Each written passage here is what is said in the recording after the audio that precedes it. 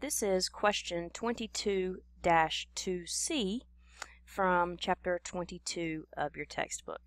And we're given a table um, that tells us our input of labor, or the number of workers per week that we hire, and our output of flash memory drives for each number of laborers that we can choose to hire. So in other words, if we hire nobody, we make none. If we hire one person, we can make 10. If we hire two people, we can make 45, and so on. That's what this table is telling us. And the question is, at which point does marginal product begin to diminish for the manufacturer of flash memory drives? So they're asking us about the marginal product of labor. So let's recall what the marginal product of labor means. So remember, anytime we talk about a marginal product, we're talking about what happens when we increase or decrease something by just one. So in the case of the marginal product of labor, we're asking the question, how much more of my output can I produce if I add one more worker to my workforce? Um, or how much less if I subtract one worker? Um, so this, just like any other marginal um, type of calculation, is going to be a calculation where we look at the change in one value relative to the change in another value. And I'm going to, like I do often, I'm going to use Excel to help me with these calculations. So I've already put into Excel the numbers that they gave me in this table. Of course, you can do this on your own with paper and pencil. You don't have to use Excel for this. I just prefer to use Excel to help me with, um, with these sorts of calculations. So let's talk about, or let's recall the definition of marginal product of labor, the MPL. So the marginal product of labor just means how much does my output change when I add one more worker.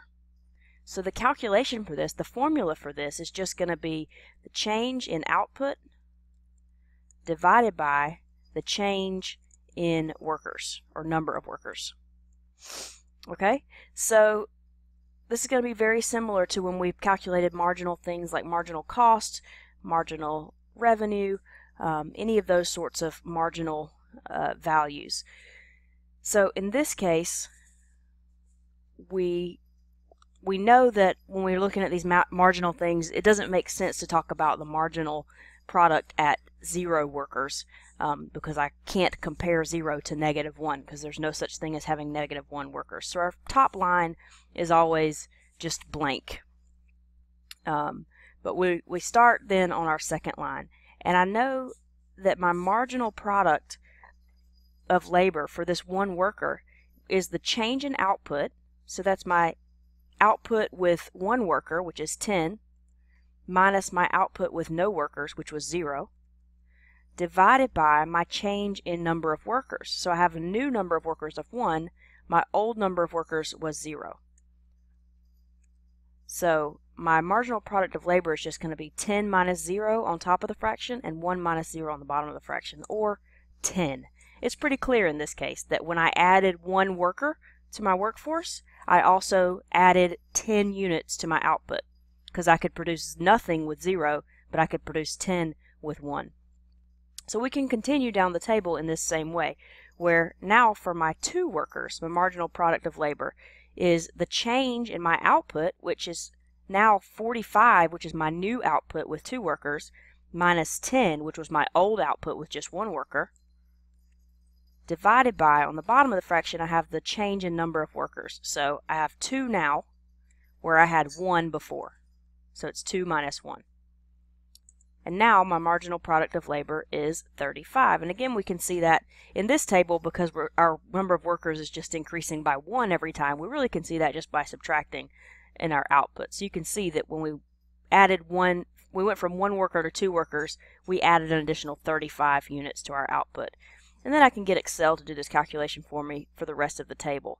Um, so I know I want my new output minus my old output divided by my new number of workers minus my old number of workers.